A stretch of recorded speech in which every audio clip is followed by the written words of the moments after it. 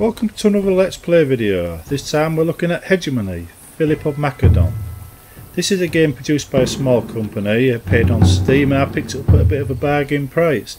So I wasn't really expecting much from it, but it turns out to be a very very good, very very addictive game. So I'm actually thinking why not make a let's play video of it since it's the sort of game that many users out there might like to see and probably won't look at because it isn't backed up by a major publishing house like for instance if you got like um, the next Elder Scrolls game for instance there'd be tons and tons of hype about it. But this one I've hardly seen nothing but it's definitely a game worth having.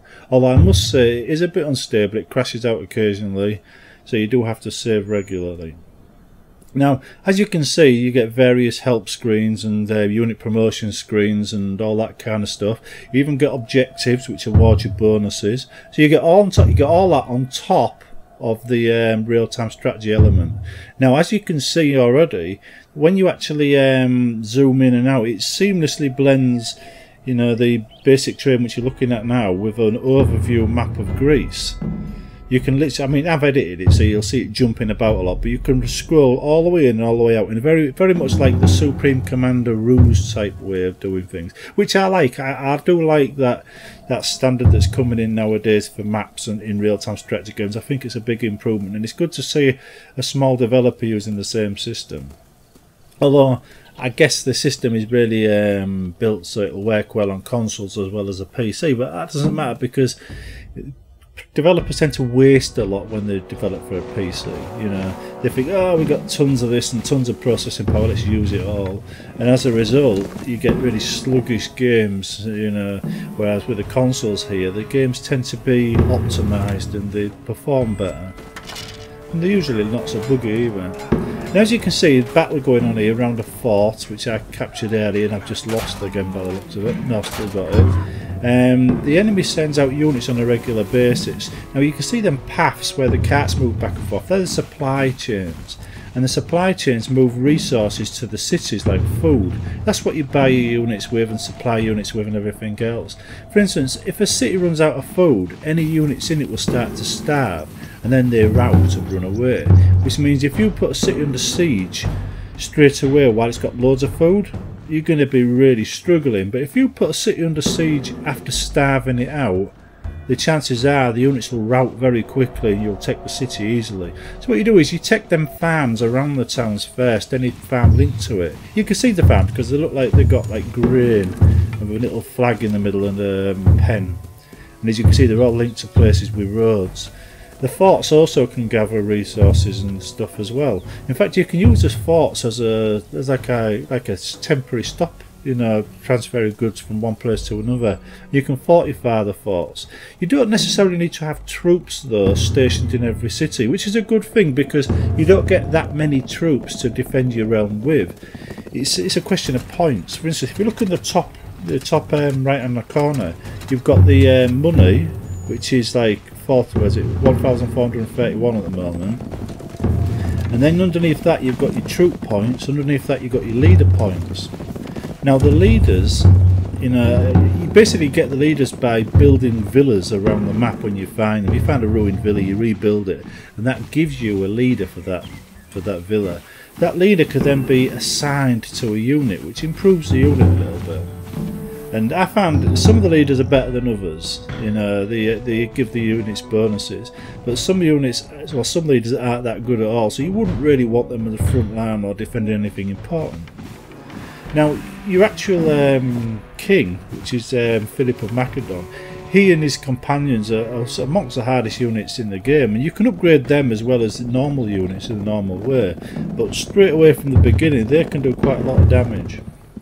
Now here, the enemy is trying to take back a town that I've already captured from it.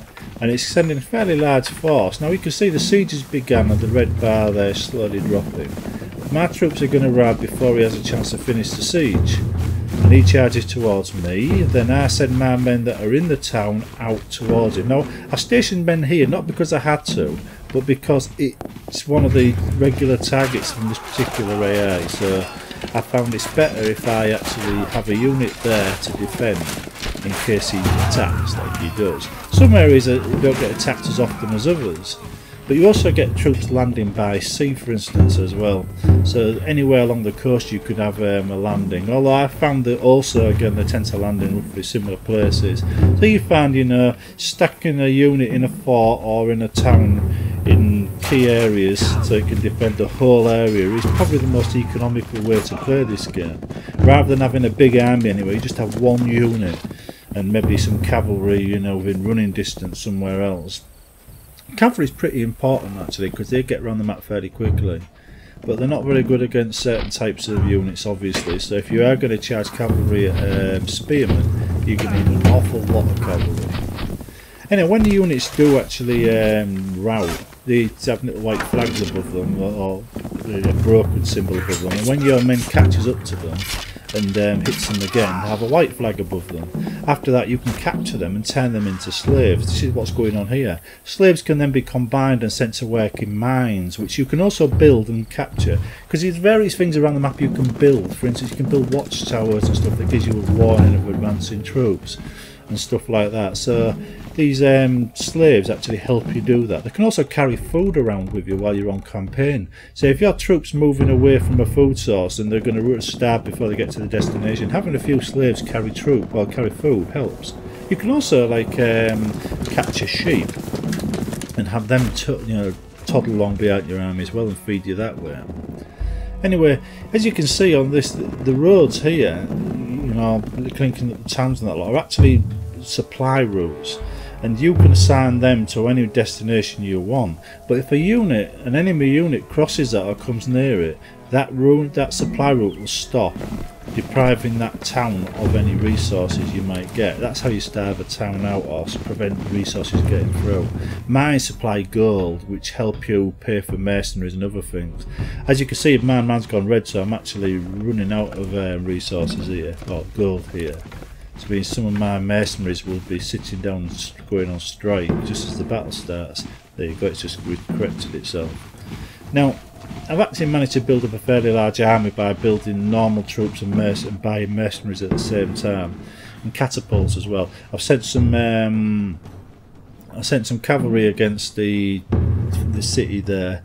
It's only got about 400 points worth of troops or defence points there, so they should be able to handle that. And I can send my other men down the bottom to take care of this other town. Now, you can remember the whole map is I'm surrounded by enemies on the on the map. So they attack me from different directions. While my army is over here, I might be, be attacked at the other side of the map for instance. So this is why you've got to keep troops in certain areas, but you can't keep too many because you don't have enough to take on any other opponent. And sometimes you've got to keep attacking the same town over and over again and keep depriving them of food to make the food slowly go down. So when you do attack with your main force, or when you're ready to capture the place, they've only got a little bit of food left. Because you can't always attack, you attack and capture everything in your first go. And sometimes you'll have to just pull back a little bit and um, build up some troops, you know, and just generally try and skimp, you know, troops elsewhere till you've got an army big enough, and then go for it. Other times you'll find that you know you can just go straight for a town and capture it, but then you're attacked by a massive army from the opponent who's got lots of towns that are still healthy, and he counterattacks you and just wipes you out and takes the town back. So sometimes you've got to like whittle the um, enemy down across a broad front before you can move into your objective you're actually after. Like one of the towns I took on this is featured early on in the video actually had more troops in it than I had in my entire empire. So I, I literally had to go around capturing the um, farms before I could get anywhere near it. That that strategy succeeded in the end. As you can see around here, this is a coastline. Boats can land anywhere along that coastline. Also, you've got these little temples scattered around. In fact, you can see me capturing a mine here. This provides gold for mercenaries and uh, and artillery. Well, uh, well, what they call it, catapults and stuff. Anyhow, around the coast, you know, or even around the trees, you see these little temples sometimes. These give you bonuses to uh, fertility of the soil, which is food, which helps with feeding armies and stuff as well. You see one on the coast there next to that town. Now, sometimes if you've got like um, a wall around them, you know, rebel really, really quickly. And when you knock the wall down, they settle down and don't rebel. I don't know. I think it's probably down to overcrowding. So you knock down the wall and it relieves the overcrowding, they settle down and they don't rebel anymore. This town here, for instance, when I capture this one, it starts to rebel. Now, it wouldn't be so bad, but most of these southern ones are all like that. So you've got to keep troops in a rebellious town in order to stop them from rebelling. And because you don't get that many troops to start off with, that isn't really an option. So what I did in this particular area is I stationed a couple of units up the peninsula a little bit so it can cover the whole area, you know, if it's invaded by anything. That way two units, you know, can defend everything. Now, somebody said um, once, uh, I can't remember who it was, but someone said, it says, those who defend everything defend nothing. In this game, it's true. You defend specific locations by placing troops in key locations. That way, you know, that you cover large areas with a minimal amount of troops. That gives you a large army to conquer the rest of the map. Well, you can see there, I'm actually trying to capture that watchtower, but there's no path there, so it won't let me. Anyhow, now you see me conquering um, a town, I've got this under siege as you can see. It's going down fairly quickly because I've got a large force. His men are coming out to attack me. And um, I've got men there that I can't attack with fault directly, which I used to use against his troops.